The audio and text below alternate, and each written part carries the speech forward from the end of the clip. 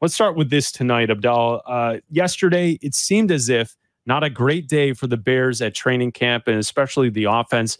Now, the reporters uh, around uh, the Bears beat didn't really specify that the defense was really excelling. It was more of a slow, not great performance by the offense yesterday in camp. And now we're kind of ramping up for the second preseason game on Saturday against the Buffalo Bills. Yeah, and that's kind of the issue here is that the injuries on the offensive line are starting to pile up. You know, you had three of your five offensive linemen not participate in team drills or leave team drills. Teven Jenkins left with uh, an injury, didn't return. Darnell Wright wasn't at practice. And then you're looking at, you know, Nate Davis, who participated in the offensive line drills, but didn't get any, you know, uh, didn't get any of the other work that was going on. Wasn't in the two minute drill, wasn't anything else. So you've got a banged up offensive line.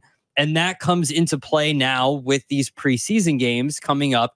Do you put Caleb Williams out there in a meaningless preseason game? Like the score doesn't matter, the result doesn't matter, uh, behind a few backups. Like there might be, you know, Bates might be out there at center. You know, Braxton Jones is probably going to be out there. He's not fully healthy. So if those guys are out there, is that enough to put Caleb Williams out there for preseason games on Saturday against the Bills. I absolutely think it is because you can't protect him forever. You have to start playing some football. You have to start getting your rookie quarterback ready for the regular season. Now, I get the concern, right? You have missing three of five on your offensive line. That's not great. It is possible, though, that various points throughout the season, you will not have five of five starters on the offensive line a part of what Ryan Poles was working on this offseason is creating depth along the offensive line, bringing in people like Coleman Shelton, Ryan Bates, mm-hmm. along those two guys to battle for the center position in hopes that one beats out the other, but then the other is sitting waiting to fill in for one of the other guys in case they go down. You mentioned Jenkins, Nate Davis, Darnell Wright. You're missing all three yesterday. Therefore, in various points during the two minute drill per Courtney Cronin yesterday, you had Jerome Ca- uh, Cavan at left guard, Coleman Shelton played center, and Ryan Bates p- played right guard. So you use both of the guys that are depth pieces battling for center on the offensive line in a setting where you had three of five of the offensive line missing. Yeah. They have to get used to playing with Caleb Williams. You cannot go into this game on Saturday and protect Caleb Williams by saying, because we don't have a fully healthy offensive line, he will not play. Mm-hmm. You got to play him. And I, I, think that's where you can look at Poles as well and say, did he do enough along the offensive line this offseason? If we're already having concerns with health, injury, and then depth with the offensive line, and we've gone through one preseason game. Yeah. And we're at this point. And well, with Nate Davis, he went through two hard practices with pads, and then we've been dealing with issues for the last week or so. This isn't just a Bears problem, though, right? You're seeing offensive line injuries pop up all around the NFL, and that's part of the reason why you add depth. I think that you can do a few things with Caleb Williams on Saturday against the Bills, right? You can have whether you decide it's Ryan Bates or Coleman Shelton that's going to be your center, your starting center. I would like that to be figured out this week, right? And you name a starter because if he's going to be out there this Saturday, next Saturday, and then the Thursday night game that they play, the final one against the Chiefs.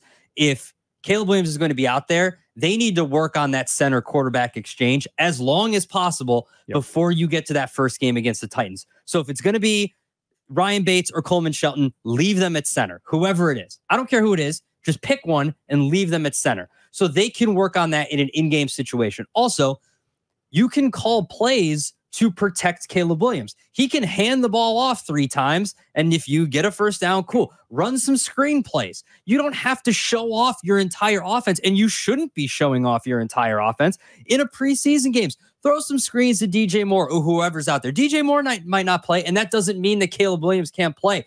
Just you need to get the quarterback, the center quarterback exchange right and get some of this timing down. Get the play call in to Caleb Williams, make sure he can get the call in to the offense. They can execute the play. If the play is successful, fine. If it's not, I'm not that worried about it because I'm more worried about the mechanics of everything that goes into him commanding the huddle in these preseason games. So if all of your centers are healthy, your possible centers, Bates and Shelton are healthy, pick one and then scheme around your bad offensive line. You can do that. Good offensive coordinators find ways to do that. And if Shane Waldron's a good offensive coordinator, which everyone believes that he is, figure out a way to get Caleb Williams some work while keeping him upright in the huddle and not letting the backup guys affect what you do. And this is why we pointed out heading into the Hall of Fame game that this first team offense needs work. They need to prepare and they need to get ready for the opener and they need to start getting some of these reps in these games. Just go back to yesterday from Courtney Cronin in her report covering practice yesterday. Rough operation for the first team offense in two minutes. After a sack, a fumbled snap, and a run play, Matt Eberflus made the unit do the drill over. Williams hit Moore on a first down, but the following plays were a sack, a pass breakup by Edwards, and an incomplete pass.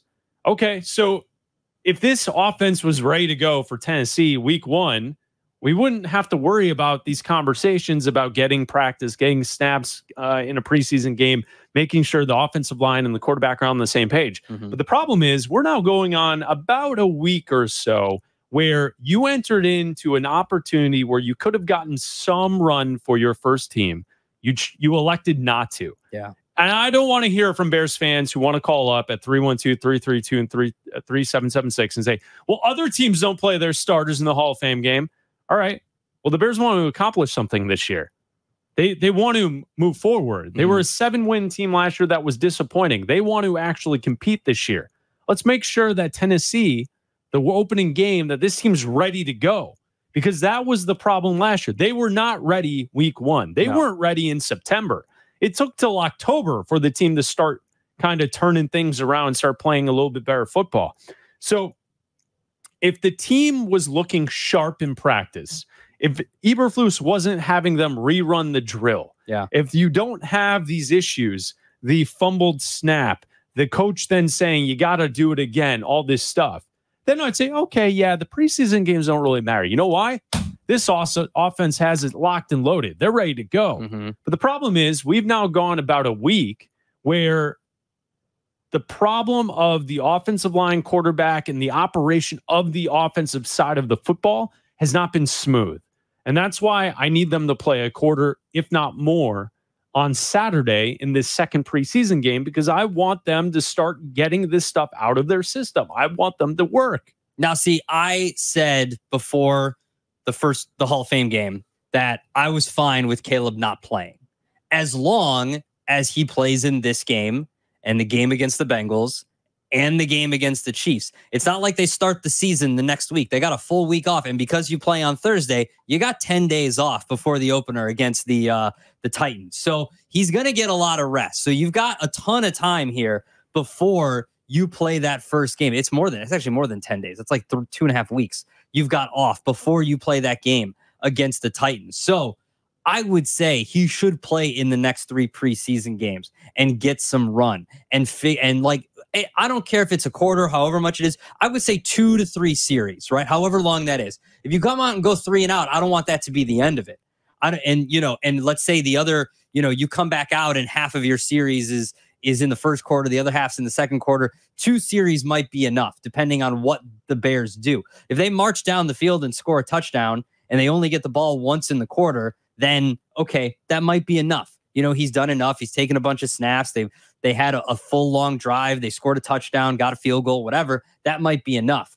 If it's not, you keep going. Play a quarter and a half. Then in the third in the their third game, everybody else's second game, play a full half. Then in the last game against the the Chiefs, maybe you scale it back again and only go back to a quarter and then say, "Hey, we were successful. Call it a day." But right now, if the season were to start, they're not ready. Yeah. Do you feel comfortable right now no. that if the season were to start no. tomorrow, that this offense would be ready to go? No. I mean, I, I I would feel a little bit comfortable just because it's the Titans and I feel like it's still a winnable game and the first pre first game is is still winnable I think cuz yeah they got their asses kicked against the Packers but the year before that in a monsoon they beat the 49ers who were they were expected to get their get the crap kicked out of them by so you can it can go both ways that first game of the season. You can catch a team or you can get caught. So I'm not fully confident in them being ready because there's we're still a month away from the regular season starting, and I haven't seen Caleb Williams play in any NFL action whatsoever, which is why I would expect, even with a bad off or banged up offensive line, for him to get out there because the odds will dictate from what we've seen from Teven Jenkins, from what we've seen from Nate Davis, they won't stay healthy the entire season.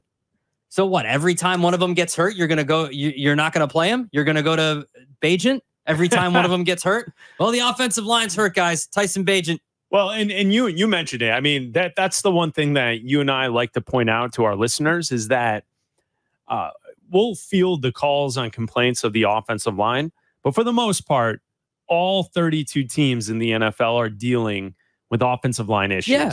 Most teams in the NFL have issues throughout the season navigating injuries and bad play on the offensive line. There's very few teams where it's like five starters for the entire season and they're all vets and they're all really good. I think back to Philly like two years ago, mm-hmm. like they were just dominating the league. I, I know San Francisco, as of late, has been really good for multiple seasons, but for the most part, you'll find a lot of teams that have banged up offensive lines, and then it kind of falls back to the quarterback. Is your quarterback good enough to take advantage or to make up for what you have in lack of offensive line play? If you want to talk to us, you can call us at 312 332 3776. Here's where I'll change my mind. We get to two years from now. Caleb Williams won Offensive Rookie of the Year. He's, you know, got a command of this offense. Top whatever, quarterback. Whatever, whatever. Top 10 quarterback, whatever, whatever.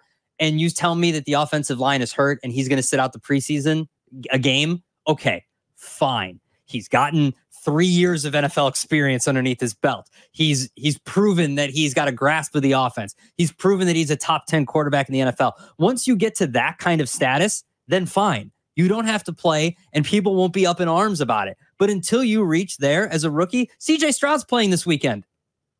I mean, I would say that he he might even after one year because earn the right to be like, you know what? If the offensive line's banged up, I'm not going out there. But he's playing. So Caleb Williams could definitely, should definitely play. Thomas and Bartlett, you're on ESPN 1000 with Bleck and Abdalla. What's up, Thomas? Hey, guys, thank you so much for taking my call. I've been dying to talk about this ever since they um, brought uh, Eberflus back. My big concern with Eberflus last year, and this is when I was calling in and calling him Ebernaggy and Nagyflus, was the fact Nagy that he he's not preparing his team to start the year. We all remember that disastrous Packers start. That team was not ready to play a football game until week four or five.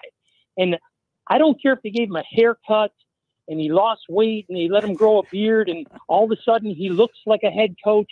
My big concern with him, with Eberflus, is he's not going to have this team prepared again. And he hasn't proven to us that he can do that. And this team hasn't proven to us that they can be taking pre games off, preseason games off, practices off, guys sitting, guys taking leaves of absence. My big concern is he's too soft of a head coach. And until he proves to me that he can have a team ready to play game one, he's not going to be able to sustain his job and he should be fired. If that team goes out there and loses that first game like they did last year, he should be fired on the spot. That's my opinion, guys. All right. Thank you, Thomas. Appreciate it. That's Thomas and Bartlett. Uh, Jurko on Carmen and Jurko last week Said had that, that. same yeah. exact yeah. statement. Yeah. Is that if the Bears go out week one and lose to the Titans, Eberflus should be fired. You know how you keep a pros and cons list? Yeah. I'll keep a soft and hard list. Eberflus. A what? A soft a what and list? a soft and hard list. Okay. Okay. Or a soft and hard soft list. and hard I'm list. coming on. All right. Not, thanks, Cap. Not playing Caleb in the uh, Hall of Fame game. Soft. Having yeah. them redo the two minute drill yesterday, hard, hard. I'm walking around the house hanging dong. That's okay. that's that's one in the hard column. It's a hard column. Okay, okay, if you, all if, right. If Caleb yeah. plays behind a banged up offensive line, hard. For kicking a guy in the ding ding. If yeah. he if he doesn't, soft. Soft. Okay. Yeah. It's coming in the mouth. Okay. All right. So all at right. the end of the preseason, once before we get to the regular season, yeah, the whole crew here: Greeny, Shay, Sylvie, Cap. Everyone's ready. I will have a running list of, of whether Eberflus is soft or hard. Yeah. I did do the waitress at and, the and golf Peggy. course. Yeah. Yes. Of course. And we will determine as a show whether or not it's Eber, coming in the mouth. Eberflus is soft or hard. I'm coming on. There's a the strange man out Yeah, front of the studio strange man. saying that he's hard. He's well, That he must know something we don't. not that.